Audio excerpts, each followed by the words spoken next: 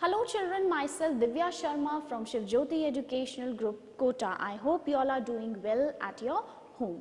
Now children, let's start with chapter number 21, homophones.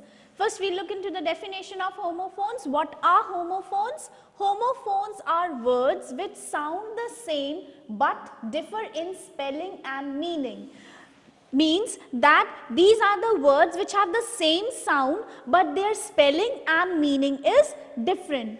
Now let's uh, look into some examples. For example, break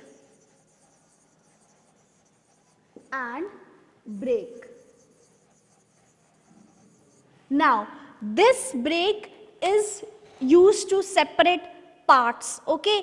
And over here this brake is used as a part of a vehicle. So the sound of these two words is same but as you can see the spelling of both these words and the meaning is different. Second example is right and write. This right over here means correct okay and W-R-I-T-E means when you write with pen or pencil. So both of these words have the same sound but as you can see the spelling and the meaning of these two words is different. So these are called homophones. Now I'll discuss some examples from the book. Question number A if you see in your book question number A Fill in the blanks with correct words from the brackets. Here you have been given the blanks and you have been given the words in the bracket. You have to choose the correct word. I'll discuss the second example with you. Ravi wants to dash a pencil. You have been given B-Y-E bye or B-U-Y buy. So which one will be the correct? The correct answer will be B-U-Y. Ravi wants to buy a pencil here. This buy over here means to purchase. Okay. And B-Y-E means when you see off someone. Okay. Now, I'll discuss the fourth one. They have gone back to dash house. T-H-E-I-R or T H E R E. Over here, the correct one will be T-H-E-I-R. Now why? Because T-H-E-I-R means uh, belonging to someone. So it is their house and T-H-E-R-E -E is used to show place. So this is the difference. Okay, now we'll discuss question number B. Choose the correct words from those given in brackets.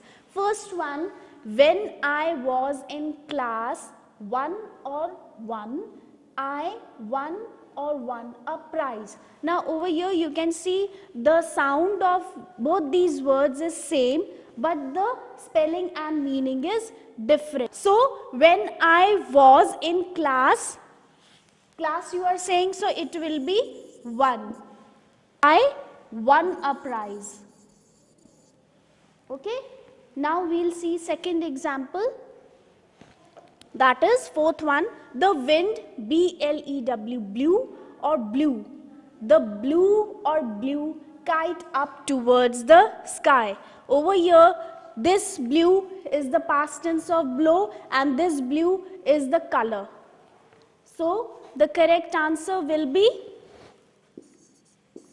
first it will be the wind, blew and then the blue kite.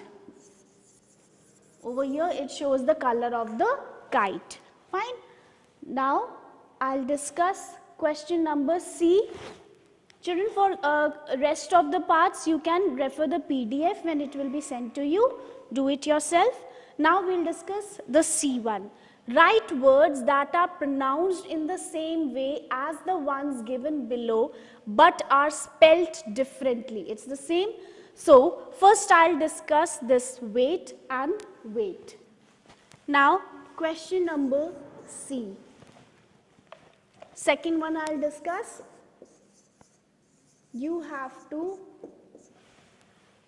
give the correct word. Now this is weight. It will be similar to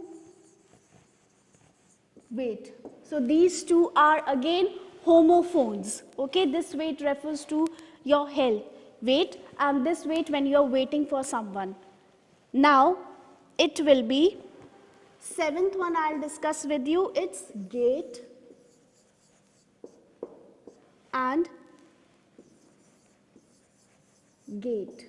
So over here, this gait means it's a manner of walking. Okay, this gait uh, refers to the manner of how do you walk. And this gate uh, refers to your main door gate or your doors. Okay, so these two words over here, same sound, but the spelling and the meaning different.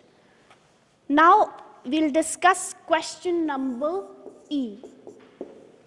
You have to use the given words to fill in the blanks correctly. You have been given the words over here in the grid, okay? Then you have to choose the correct blank. See, you have been given the words in the grid and you have to choose the correct word and fill in the blank. So I'll discuss with you first and second. The rose is a beautiful. Now over here we know that rose is a flower. So the correct word over here will be flower. That is F-L-O-W-E-R. And second, the baker ordered two bags of flour for the bakery. Okay? So, the first one will be flour and the second one will be flower. The sound is the same but over here the meaning and the spelling is different. Now uh, we'll take fifth one. The puppies have grown into strong dogs. Over here G-R-O-W-N shows growth of something, grown into a strong dogs. The wounded man let out a groan. It's a sound uh, which comes when you are in pain. So, fifth one will be the puppies have grown and sixth one will be the wounded man let out a groan. So with these examples you saw that these words have the same sound but the spelling and the meaning is different. That is what we call homophones. Okay, rest of the blanks you try out yourself and you can check from the PDF which will be sent to you. Thank you.